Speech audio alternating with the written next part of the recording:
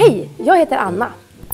Här i Jaramba ska ni få veta massa spännande saker om våra djur. Apor, ormar, ödlor, krokodiler. Ha det så kul! Och förresten, kom och hälsa på mig och djuren på Skansen-akvariet.